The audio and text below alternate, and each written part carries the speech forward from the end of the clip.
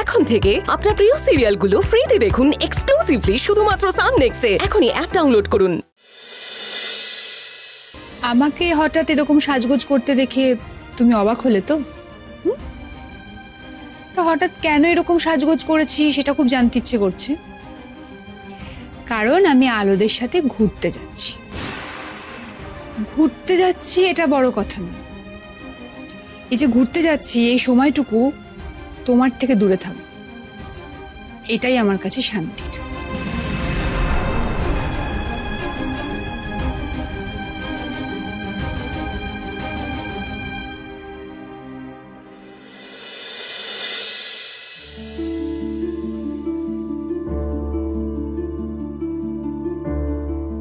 অভি এখনও আসছে না কেন?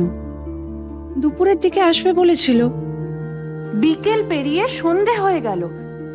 কি করছে ও কে জানে?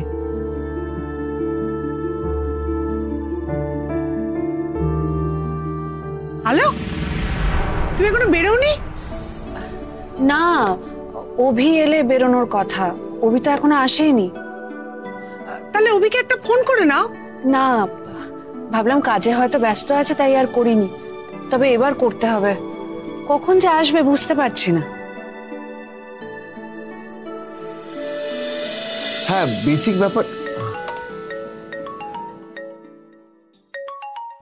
স্যার আমি একটু ফোনটা ধরে নিই। আমি আপনাকে বলছি আমার তারা আছে। আর কতবার বলতে হবে বলুন তো? আপনি একটু ডিটেলসটা দেখতে থাকুন আমি এক্ষুনি না না না না না। দু হাজার বারোর গাড়ি আমি নেব না। অনেক পুরনো হয়ে গেছে। তাছাড়া গাড়িটা একানব্বই হাজার কিলোমিটার চলেছে। গাড়িটা আর কিছু আছে নাকি? অন্য ট্রাক দেখা। স্যার প্লিজ আমাকে একটা মিনিট সময় দিন। আমাকে আসলে ওয়াইফ ফোন করছে। তার মানে তো কাজের ফোন খেয়েছেন কিনা ঘুমিয়েছেন কিনা সব জানবে। আপনি এক কাজ করুন আপনি বাড়ি গিয়ে সব জানাবেন আমি আপনাকে বলেছি প্লিজ আমার তারা আছে। আমার কাছে এক সেকেন্ড সময় নষ্ট করার মতো সময় নেই। আমাকে অন্য ট্রাক দেখা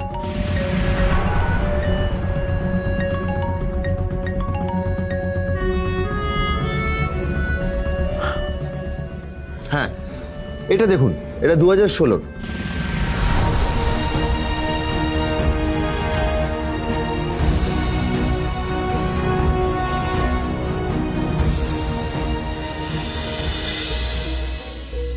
বলল না?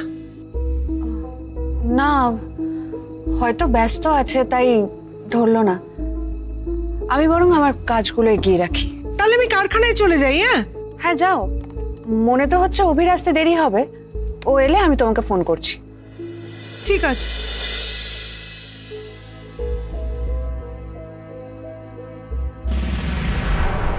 এলাম।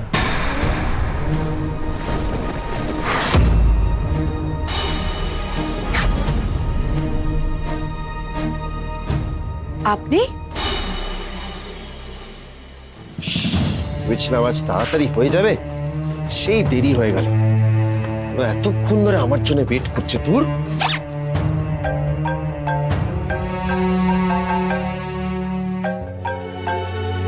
হ্যাঁ সুজবতী বলো।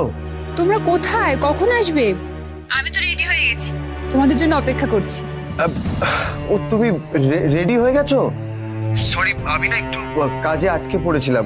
আমি যত তাড়াতাড়ি সম্ভব আলোকে নিয়ে তোমার কাছে আসছি। আচ্ছা ঠিক আছে আচ্ছা।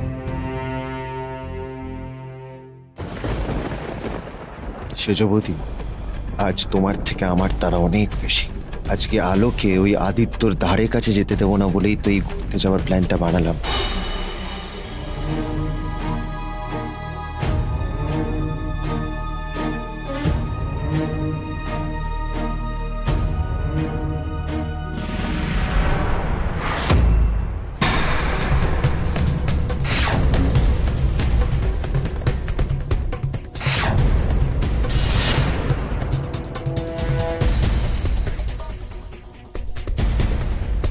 হ্যালো হ্যালো কি করছেন আপনি?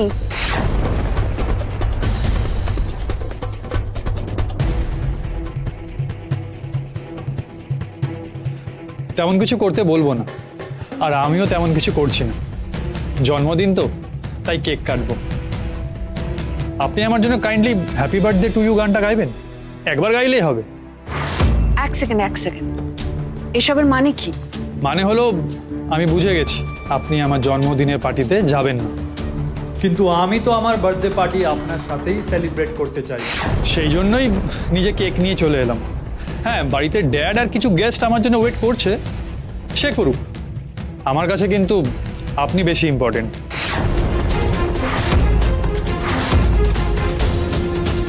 আপনি এগুলো কি শুরু করেছেন বলুন তো?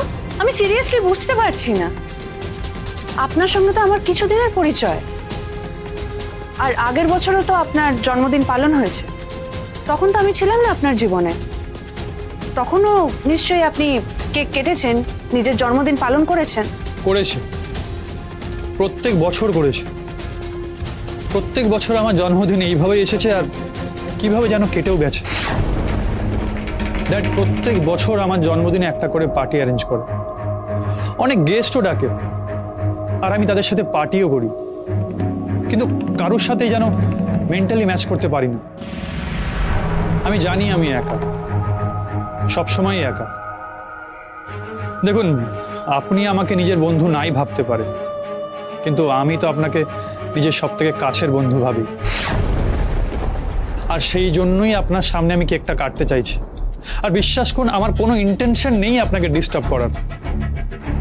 জাস্ট কেকটা কাটবো আর চলে যাব। কিন্তু আমি বাড়ি যাব না। এখানে কেকটা কাটা হয়ে গেলে কোথাও গিয়ে চুপচাপ বসে থাকব। তারপর বারোটা বাজলে বাড়ি চলে যাব। কেন? আপনি এসব কি বলছেন? আপনি তো এই বললেন যে সায়ন্তন বাবু আরও কিছু গেস্ট আপনার বাড়িতে ওয়েট করছে। বিশ্বাস করুন আপনি যদি আমার সাথে বাড়ি অবধি যেতেন তাহলে আমি এখনই বাড়ি ফিরতাম। কিন্তু আপনি না গেলে আমি বাড়ি গিয়ে এই ফেক হাসিটা সবার সামনে হাসতে পারব না। তার থেকে ভালো আমি আপনার সামনেই একা একা কেকটা কেটে ফেলি। একবারের জন্য আমার সাথে বাড়ি চলুন না, প্লিজ। তাহলে আমি বাবার সামনেও কেকটা কাটতে পারি। বেশিক্ষণের জন্য না, কেক কাটা হয়ে গেলেই আপনি বেরিয়ে যাবেন। আর আপনি যেখানে বলবেন, সেখানেই ড্রপ করে দেবো। যাবেন, প্লিজ? বেশ। আমি যাচ্ছি।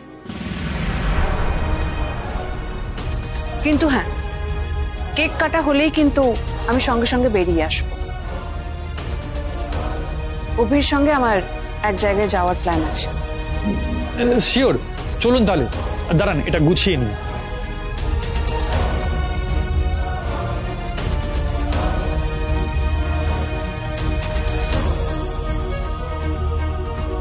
আলো কোথায় যাচ্ছ? আমি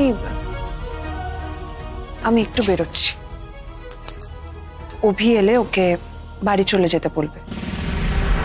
আর আমি যে ওনার সঙ্গে বেরিয়েছি, এটা অভিকে জানানোর দরকার নেই।